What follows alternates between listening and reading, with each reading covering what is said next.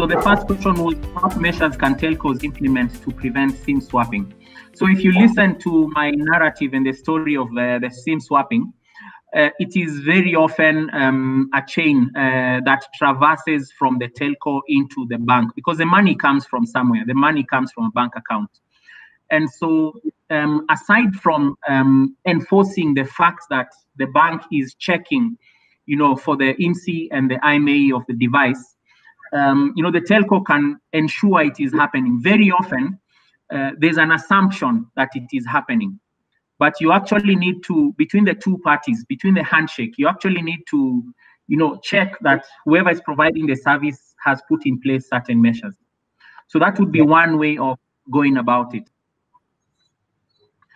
Um, then we have a second question. How does cyber fraud prevention tackle the use of ai used to commit actual fraud zero day threat can i help on that yes yes sure go ahead yeah, so just to explain, I think this is something we've interacted uh, so many times in most of the banking sector. So, really takes over your account, you will always move money to person you've never sent money to. You will do try to use exhaust the limits that you already have in your account. So with AI, it will always be out of your normal behavior. So behavioral analytics is the key here. I build a profile based on your historical information, and if you deviate today from that, I flag you. So that is one way of doing it. And that is basically what we do at uh, NetGuardians. Number two, we have what we call velocity checks and spike in transaction volume. At the end of the day, when somebody takes over your account, he wants to really empty as soon as possible. And from experience, we've seen an account where fraud happens or continues for three days since it was taken over. The reason being, nobody is doing monitoring during the first day to be able to pick that this account is under uh, is already exhausting the limits that is available across all the digital channels, ranging from mm-hmm. ATM to mobile banking to PesaLink, all those kind of digital channels. So I think with AI, you will pick automatically the fraudulent cases. It is so obvious. It's only that how you tweak it to be able to achieve that is where work is, and that is very, very key as well. Okay, thanks. Thanks for that, uh, Bernard. Um, uh, there's another question. In the case where admin account password is shared, how can they ensure accountability to access of those accounts? So if you listen to the other presentations, um, and even in my summary, uh, there's a specific area of privileged access management. Um, and I think yesterday there was um, there was a presenter. I think uh, the solution is called Wallix, um, if you can go through yesterday's present, uh, presentation, you'll see it. So what it does, what it does is it can record all your activities and it can actually prevent you from carrying out certain um, activities on the database. So you can prevent an administrator from making changes at the database level. You can escalate an alert if he logs into a resource he's not supposed to log into, and so on and so forth. So that's that's really how you can you, you can handle it. Yeah yeah. So also to add on that so basically it entails sitting in between the consoles and the sequence so you are a, a go between the sequence and the consoles what most uh, admins uses them. So what you do is before they log in they log in through such kind of systems and then now they go to the specific system they want to access and that way you act like a tunnel so that everything they are doing yeah. you are capturing them tracking them and you have accountability so that if you have an account like admin 2020 and you have uh, 10 admins logging in through it, first I logged in as Bernard, and then now I went to admin 2020. So all my activities will be tied to me as well. So at NetGuardians, we have also such kind of uh, systems in place that we put to monitor such kind of uh, things, what we call the consoles, the sequels, mm-hmm. and track anything that happens. You can also prevent someone from maybe doing a command like changing your balance in the backend. You know that is possible. I can change my balance from 10,000 to maybe 1 billion. So those are the things that are very key and you can pick it uh, before the fact as well. Excellent. I think that's really engaging. That has brought two questions, but I'm wondering, Collins, what's your opinion? I want these questions, but before I raise mine, I would, I'm quite curious to, to get an input from you on what's going on now or the discussion now. But I've got two pressing ones. It could just pop from you. So let me give you the chance. Okay. Uh, what are the two questions? I need to go with mine first, right? So one, I wanted to touch on the core banking system, on the on the two-factor authenticator. That's something that I know I am not a tech, it works quite, uh, quite well and very acceptable yeah. to a lot of users. But then when we go to core banking, what about the 3DS? This is something that, you know, from experience, you will see, uh, say from the fintech world, there are banks that have got 3DS enabled and some are not. Now, with regards to core banking, is that helping if some are and some are not, like using a 3DS uh, card? And also, sorry, uh, tokenization.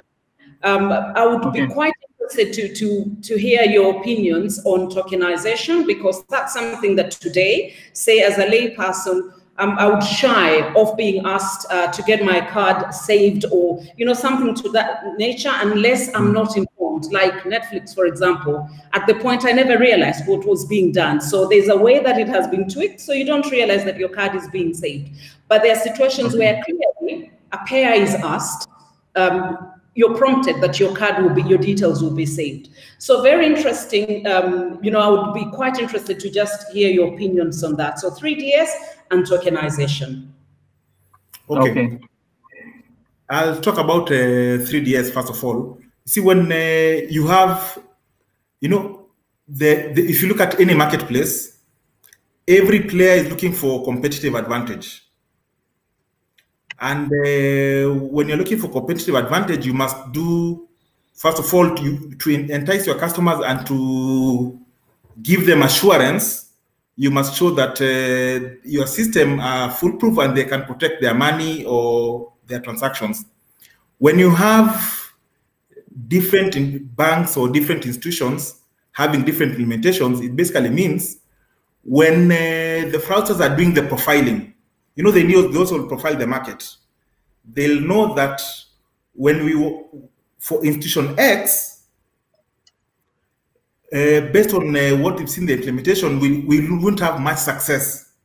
But for Y, where we'll have more success because they've not, uh, the, in their core, the security of the core banking system is uh, not advanced or at basic level, you'll find that more attacks, uh, or rather more fraudulent uh, activities will be taking place uh, there.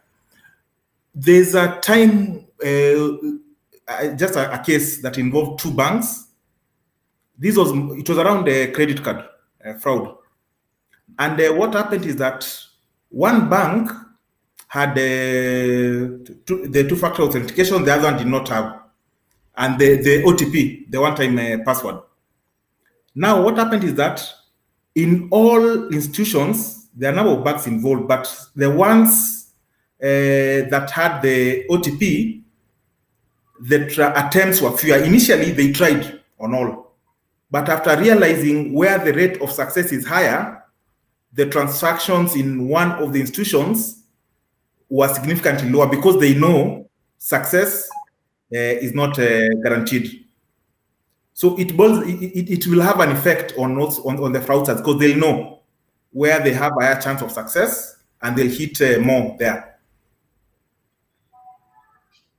Yeah. So basically, they study your controls that you've put in place and know whether they are weak, strong controls, and be able to go for the weaker controls.